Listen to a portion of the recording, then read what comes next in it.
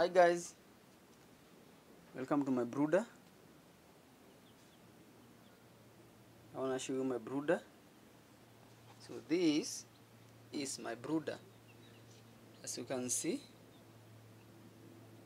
it has been made of woods, like a box. As you can see here inside is a box, but this is a wood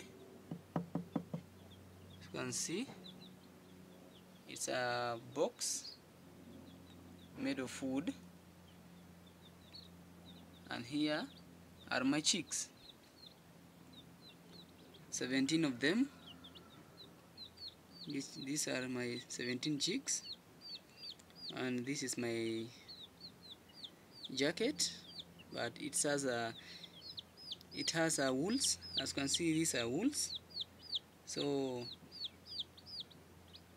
I put my jacket here because it has wounds so they can feel like they have their mother or covered by their mother and keep them warm. It's a good thing to keep here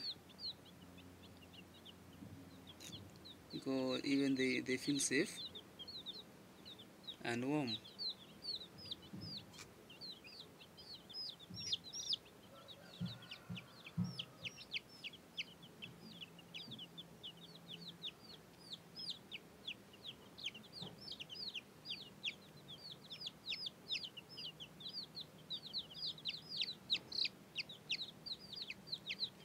can see inside is a wool.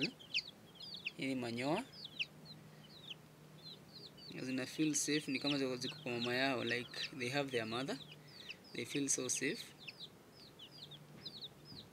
So this is my brooder and there are 17 of them.